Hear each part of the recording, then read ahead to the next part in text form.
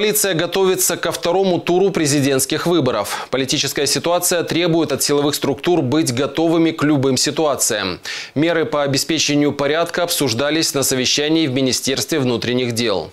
Первый заместитель министра внутренних дел Сергей Яровой сообщил, после первого тура в полицию поступило 976 заявлений, связанных с проведением выборов. Начато 66 уголовных производств. Всего с начала избирательного процесса полиция получила 8830 сообщений о нарушениях, по которым ведется 378 уголовных производств. Нас чекає гаряча осінь. Я маю на увазі парламентські вибори, і вся ця робота пов'язана з розслідуванням цих справ і доведенням їх до суду. Це буде основою превенції, профілактики на майбутні вибори. Важливо, щоб кожне кримінальне провадження отримало реальний судовий вирок.